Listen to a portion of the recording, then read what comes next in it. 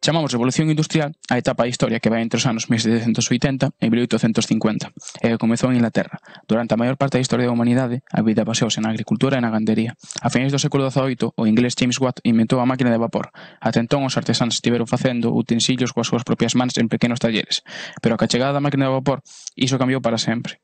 Esta máquina utilizaba a enerxía do vapor para transformalo en forzas e mover outras máquinas.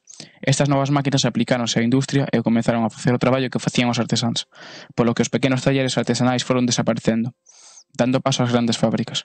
A máquina do vapor tamén se empregou no transporte fabricando os primeiros trenes e barcos a vapor, facilitando o comercio e as viaxes entre cidades e países. Durante a Revolución Industrial, a sociedade rural dominada pola nobreza deixou de ser tan importante como era e apareceu a sociedade urbana dominada pola burguesía e baseada na industria.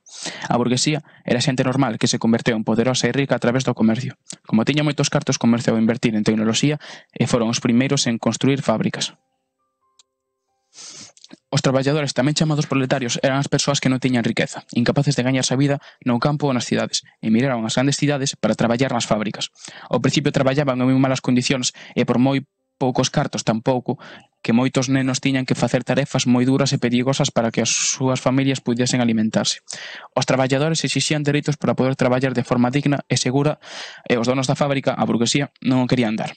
Despois de moitos conflitos, folgas e pelexas, os traballadores lograron que os, de, que os días de traballo durasen oito horas, poder descansar os domingos ou ter días de vacacións e tamén protexerse aos nenos para que non tiveren que traballar.